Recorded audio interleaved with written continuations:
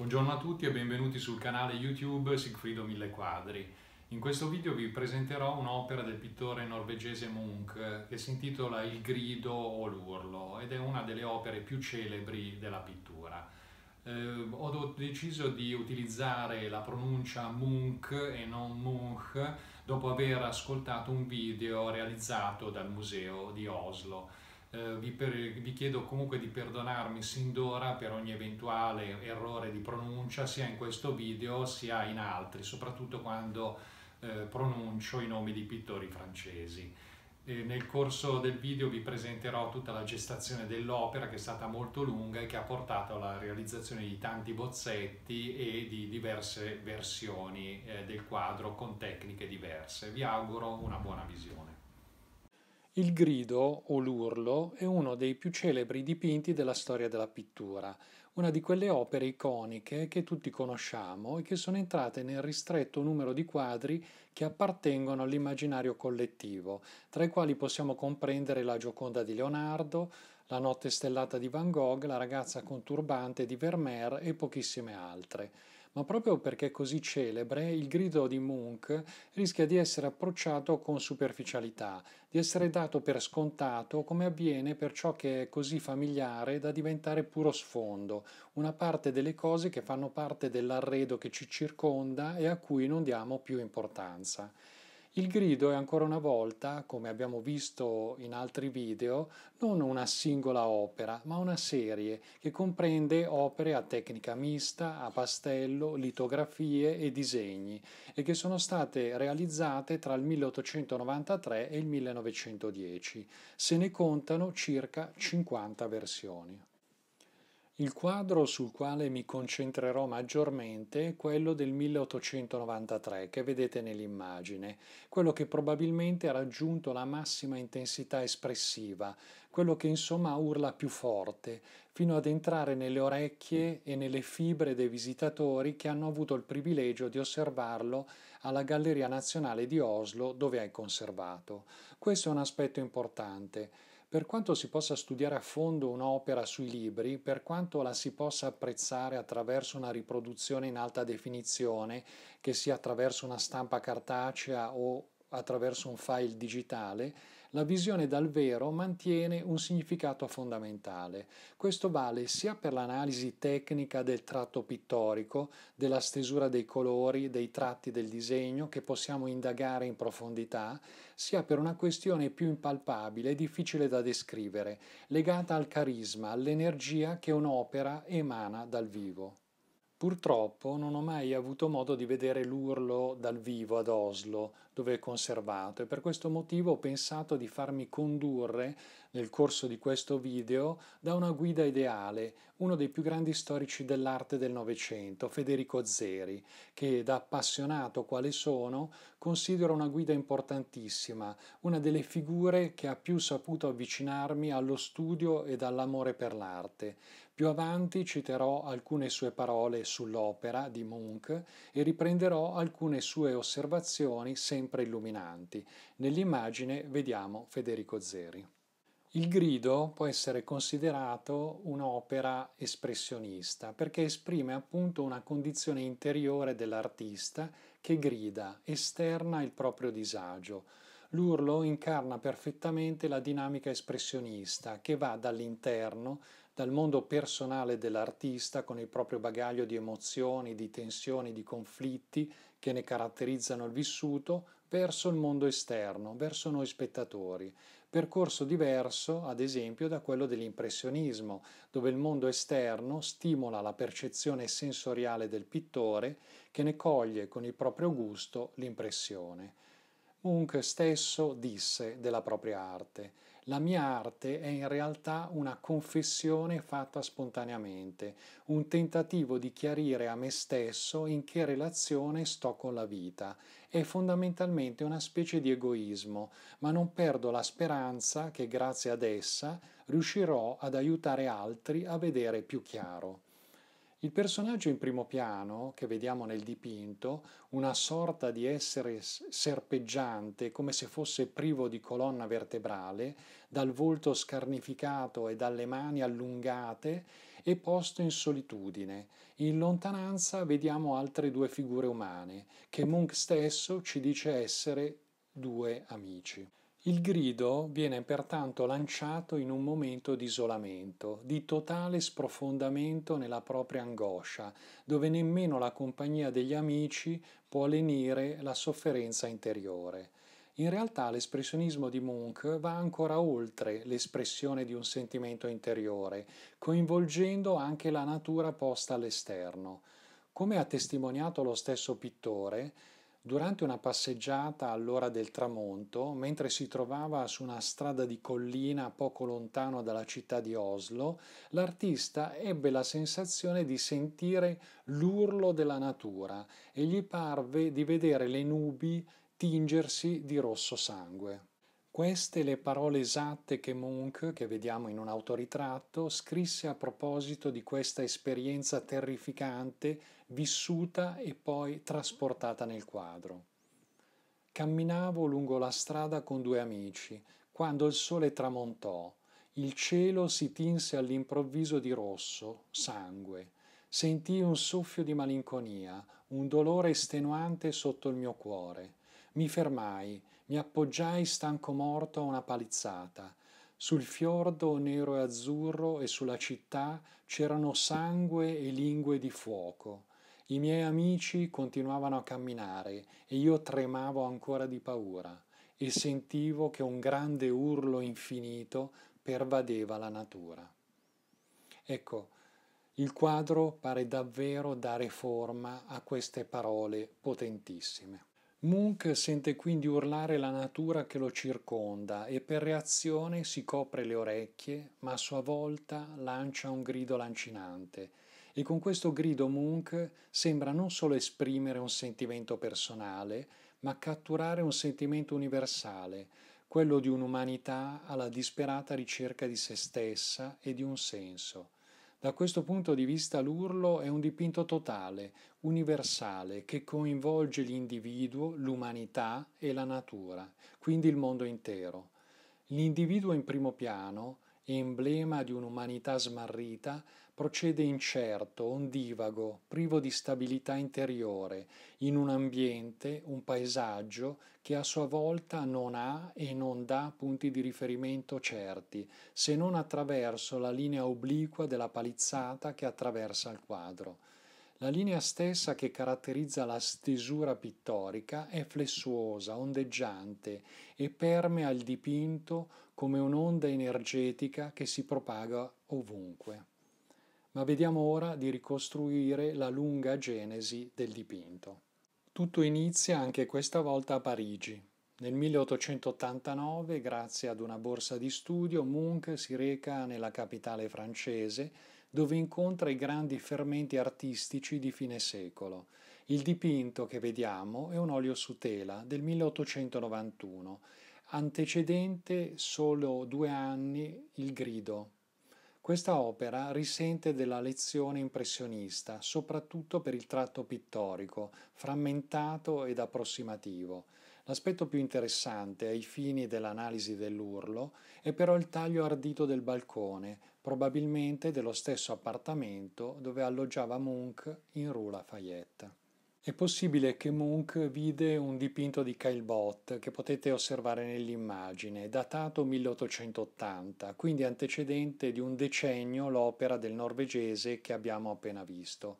Naturalmente non c'è alcun collegamento diretto tra un dipinto come questo con il grido, però è interessante notare delle suggestioni che un pittore come il norvegese può avere raccolto nel corso della permanenza parigina, suggestioni anche solo legate ad un taglio compositivo come questo di Caillebotte, un taglio fotografico che irrompe nel linguaggio pittorico accademico. Per inciso Munch disse di aver avuto grandi aspettative rispetto alle opere esposte al Salon di Parigi, ma di esserne invece rimasto profondamente deluso. Torniamo alle opere del pittore norvegese. Disperazione che vediamo è del 1892 ed è un punto fondamentale nella gestazione dell'urlo. ci sono delle differenze importanti. Il personaggio in primo piano, di profilo e con il cappello, ha ancora una fisionomia riconoscibile, lontanissima dall'essere che urla. La costruzione del quadro è però molto simile e ci aiuta anche a comprendere meglio quel che nel grido è completamente trasfigurato. Qui ci rendiamo conto che i tre personaggi, Munch in primo piano e i due suoi amici, si trovano in una posizione rialzata rispetto al fiordo. Percorrono una strada in collina, forse un ponte protetto da una balaustra che taglia obliquamente il quadro. Il cielo è già quello infuocato al tramonto, ma sotto il cielo distinguiamo meglio il fiordo, quel braccio di mare che si insinua nell'entroterra norvegese, solcato da alcune imbarcazioni e circondato da rilievi. Circa le possibili fonti di ispirazione di Munch per la figura che urla, è ormai consolidata l'idea che il pittore abbia visto una mummia peruviana in un museo di Parigi. Indubbiamente notiamo una forte somiglianza tra il volto scarnificato della mummia e quello del personaggio in primo piano nel grido. Anche la posizione delle mani è molto simile. Munch inizia quindi a pensare al personaggio che urla e realizza vari schizzi preparatori.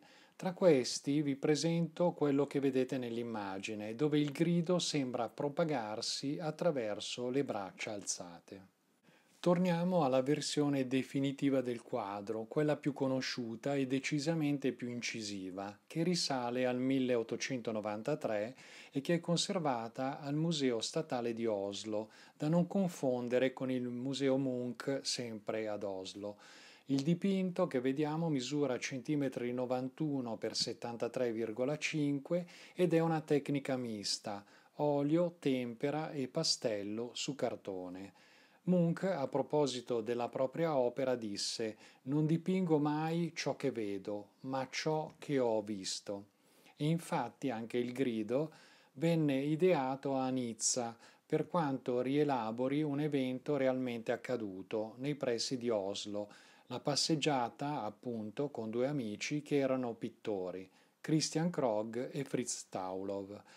Krog era maggiore di Munch di 11 anni ed era un'autorità nell'ambito della pittura norvegese di stampo naturalistico.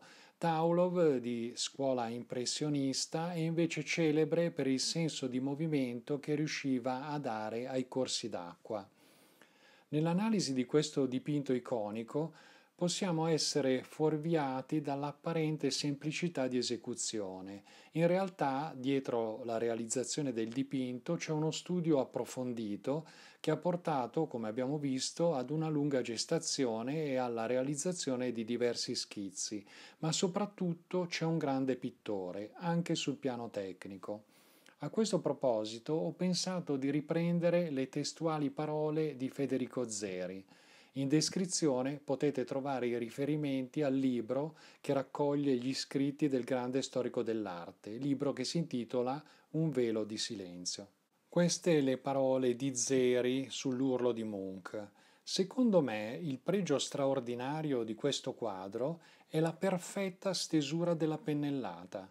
Nella mia vita ho visto pochi quadri in cui la pennellata sia uno strumento così docile e così stringato perché, se si esamina l'originale, ci si accorge che l'autore è un uomo di una consumatissima abilità tecnica, in quanto è riuscito a ottenere il massimo con il minimo sforzo, cosa che non si può dire di tutti quanti gli espressionisti posteriori. In queste poche righe Federico Zeri ci ha dato una grandissima lezione di storia dell'arte, perché, come lo stesso Munch, Zeri è riuscito a ottenere il massimo con il minimo sforzo, cioè con il suo linguaggio molto lineare, accessibile e chiaro, è riuscito ad esprimere concetti molto potenti ed illuminanti.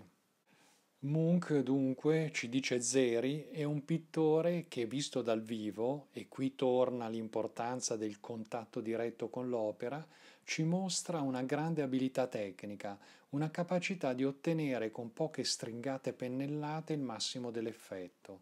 Non solo, Zeri, che era chiamato il più grande occhio vivente, per sottolineare l'enorme capacità di comprendere e riconoscere le opere e di collegarle tra di loro nel fitto intreccio della storia dell'arte, afferma che raramente nel corso della sua vita aveva incontrato un tale controllo del pennello, una tale capacità di sintesi. E questo linguaggio pittorico che caratterizza il grido, che sempre Zeri collega a quello dell'Art Nouveau internazionale nell'andamento ritmico e sinuoso della linea, diventa, con i colori violenti di Munch, uno strumento potentissimo di espressione di un sentimento di disagio. Forse il segreto del quadro, la formula che fa esplodere letteralmente la tela, è proprio la convivenza tra, da una parte, un ritmo cadenzato che ha la forma di un'onda che si propaga ovunque e dall'altra i colori trasfigurati di un'allucinazione, il rosso sangue del cielo, il pallore dell'essere in primo piano, il blu ed il nero del fiordo. C'è anche un altro aspetto molto importante sul piano compositivo. Il quadro contiene due momenti distinti. Uno è più strutturato ed è rappresentato dal ponte con la balaustra posto sulla collina di Ekberg, non lontano da Oslo, su cui camminano il pittore ed i suoi amici.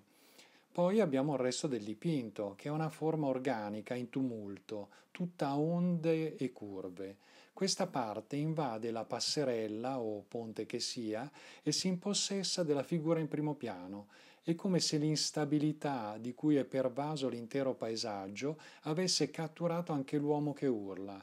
Lui non è più nel mondo stabile, quello rettilineo e solido della passerella con la palizzata, ma ha iniziato a vibrare e tremare all'unisono con la natura circostante. L'urlo della natura è diventato il suo urlo.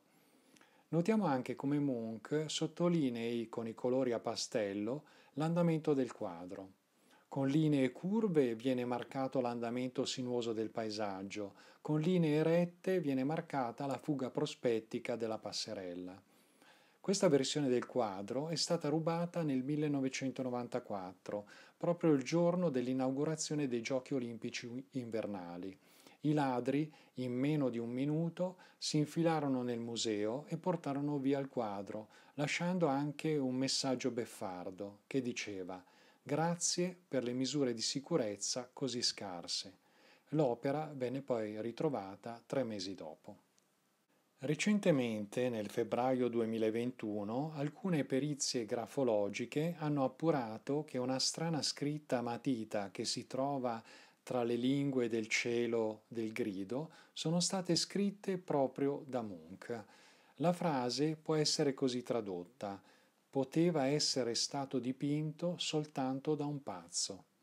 Munch avrebbe aggiunto la frase sul quadro attorno al 1895, quando uno studente di medicina, dopo aver visto l'opera, aveva messo in discussione la salute mentale del pittore.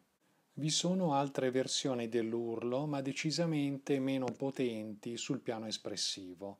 Questa versione è a pastello ed è sempre del 1893, ma antecedente il dipinto più celebre. Questa invece è una versione del 1895, sempre a pastello, e mi piace particolarmente. Questa invece è una tempera del 1910 conservata al Museo Munch di Oslo, quindi molto posteriore.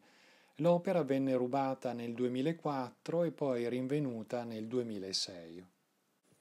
Prima di passare ad una presentazione di altre opere che riprendono l'impostazione dell'urlo, è importante segnalare come questa opera capitale rientrò in un progetto più ampio ideato da Munch e intitolato Il fregio della vita, una serie di quadri che rappresentano alcuni temi fondamentali dell'esistenza e che Munch esporrà insieme a più riprese, ad esempio a Berlino nel 1892 e a Lipsia nel 1903.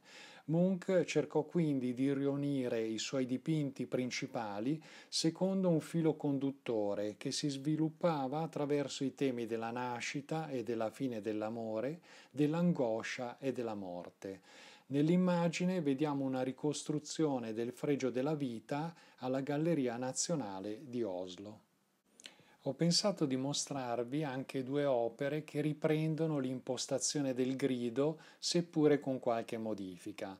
La prima è Disperazione del 1894, che ritorna alla definizione della figura umana in primo piano e che è a sua volta collegabile con il personaggio di un'altra serie di opere di Munch che si intitola Malinconia.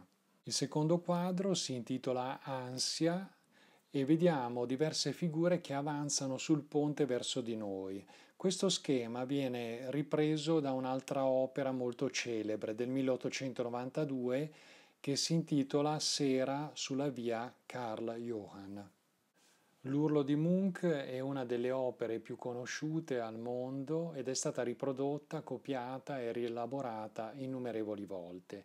È un dipinto che fa parte dell'immaginario collettivo e che è entrato nella cultura popolare.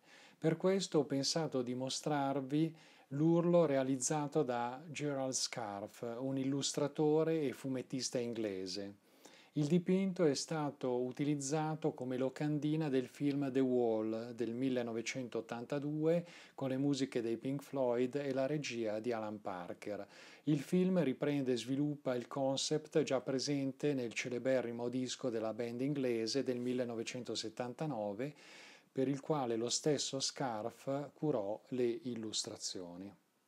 Arriviamo infine ai nostri giorni con questa emoticon, la faccina che urla, evidentemente ispirata all'opera di Munch e che tutti noi utilizziamo ogni giorno con i nostri smartphone. Ancora una volta constatiamo come l'idea di Munch riesca ad ottenere il massimo effetto con il minimo sforzo.